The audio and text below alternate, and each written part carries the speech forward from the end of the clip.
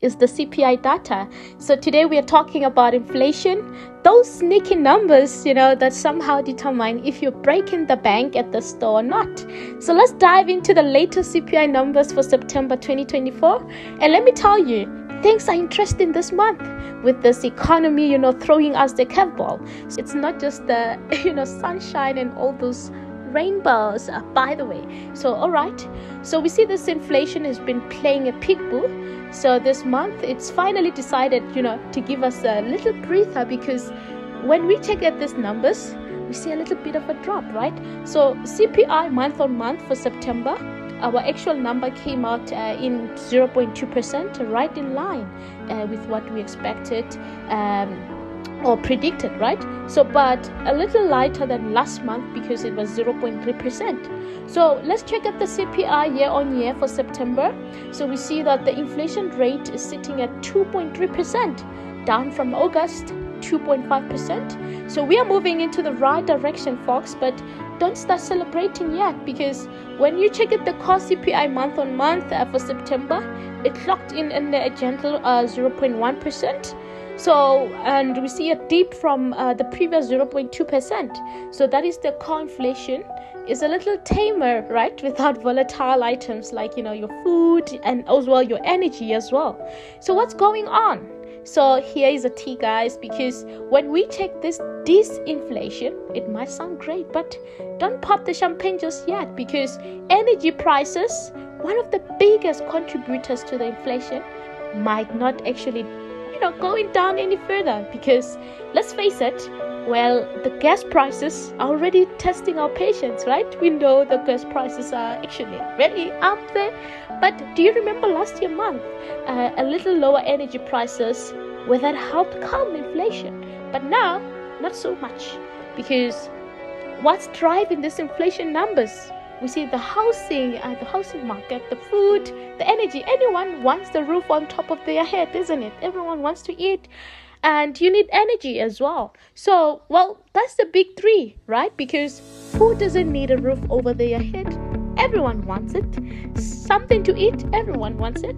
Energy to power all this you know gadgets we're addicted to. So we need it right? So however there's this a soft landing, they say.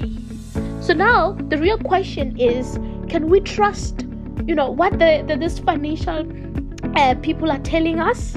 They're throwing around this soft landing business as like a pillow fight. I mean, but let's be real for a second time. If this inflation isn't it mitigating as smoothly as like uh, we would actually predict to be like, with this bond yields jumping. Uh, today we have the news about uh, you know 10 year, uh, yeah 10 year yield, right? So all this bond yields jumping all above. Can we really believe everything is just fine? No, no, no, no, no. Well, the 10 year yield, uh, treasury yield, is little spicier because now these days, um, just ask anyone keeping an eye on these bond markets, right? The bond buyers are getting weary, right? Because now the stocks as well, they're overbought. I mean, the bond yields as well, they're soaring up. So, in meanwhile, we are told everything will be okay. Oh my God, everything will be okay. Well, it's giving me, trust me, I'm an economist vibes. so, but what about this recession talk? Because everyone is trying, you know, to dodge uh, this word recession they are trying to dodge this R on this recession word. but look at the yield curve inversion, and it's telling a different story, you know, taking us all the way back to 1981 because that's the technical clue, you know, you can't just ignore. I mean, we just have to look at it. And sure, they keep telling us, you know, we can avoid a recession. But hey, guys, the 1929 crash didn't give anyone, you know, a much of a warning, did it? No 2008 didn't give anyone a warning, did it? No, right? Because all this, you know, the retail sales are finally turning the bullish for the first time uh, since April last year. But don't be fooled because most of this action is driven, you know, by the corporate stock buying. So that's what I said as well in the Traders Fair um, Expo. I told you guys that most of the time when you see stocks you know, overbought. It's because it's motivated or driven by the corporate stock buybacks, right? They keep buying it back, and uh, you know, it's not organic uh, consumer growth. So that's what you need to know. That's what you need to tell the difference, right? So when you look at the consumer versus the system, right? Let's look at the consumers. Well, they're still out there spending. You know, they keep consuming, but let's not get carried away because now um, if you remember right the credit cards are getting maxed out faster than ever before. Why? Because the debts are skyrocketing. Everyone keeps acquiring debt. You know everyone keeps spending. Everyone oh my god just look at 2022 as record high consumer credit. That was 931 billion in the last quarter. So that's i mean that's crazy. So more debt, more spending, all while all this wages struggle to keep up with the pace and inflation. Imagine. So, and when those credit card bills stop getting paid, what's going to happen? Guess who's going to, you know, be holding the bag? Well, it's not guys at the top, but I mean, it's not you actually, but the people who sold you, they keep uh, making money right? So that's why you always need to tell um, if you're being sold garbage or not, you know, because Wall Street will always sell you garbage no matter what.